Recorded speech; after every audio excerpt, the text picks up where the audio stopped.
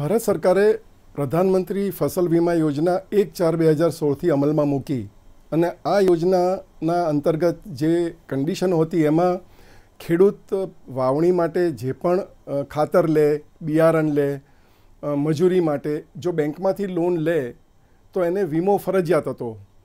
સત્તર અઢારની સિઝનમાં દુકાળ પડ્યો, વરસાદ ના પડ્યો અને આના કારણે એનો જે પાક છે તદ્દન નિષ્ફળ ગયો. સરકારશ્રીએ ગુજરાત સરકારના ખેતીવાડી ડિપાર્ટમેન્ટે ઇન્સ્યોરન્સ કંપનીને જાણ કરી, લાગતા વળગતા બીજા બધા ખાતાઓને જાણ કરી કે સત્તર અઢારનું વર્ષ દુકાળગ્રસ્ત છે. આમ જાહેર થયા છતાં ખેડૂતોએ જે વીમો લીધેલો, એ વીમાની નુકસાનીની રકમ એમનું પ્રીમિયમ ભરાયેલું હતું છતાં નથી મળી.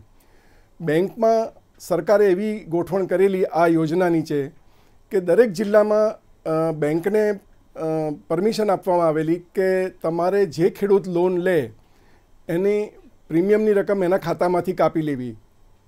ખેડૂતોએ પ્રીમિયમ ભરી દીધું, પરંતુ બેંકે પણ એ વાતની જાણ ના કરી કે બેંકે કઈ કંપનીને પ્રીમિયમની રકમ જમા કરી છે.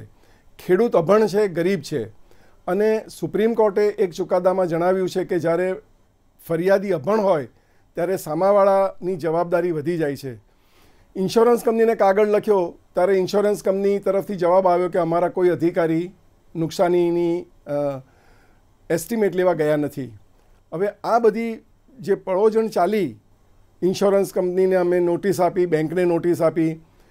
આમ છતાં એ લોકોએ કોઈ સંતોષકારક જવાબ ના આપ્યો. બેંકોએ તો એવો જ પણ જવાબ આપ્યો કે અમે ઇન્સ્યોરન્સ કંપનીને કહ્યું છે કે તમે અમને પ્રીમિયમ પોલિસીની કોપી મોકલો, તો પોલિસીની કોપી પણ નથી મોકલી. અલ્ટિમેટલી એવું છે કે આ ગરીબ ખેડૂતો વતી લગભગ ચારસો ખેડૂતોના કેસો જે તે જિલ્લાઓમાં અમે દાખલ કર્યા છે. અને આ કેસ હવે સબજુડિસ છે. ટૂંક સમયમાં કદાચ એનું જજમેન્ટ આવશે. પરંતુ ખેડૂતો પાયમાલ થઈ ગયા છે અને ગુજરાતમાં સત્તર અઢારનું વર્ષ જે નિષ્ફળ ગયું સિઝન એમાં છવ્વીસ ખેડૂતોએ તો આપઘાત કર્યા છે. જે ગંભીર બાબત છે.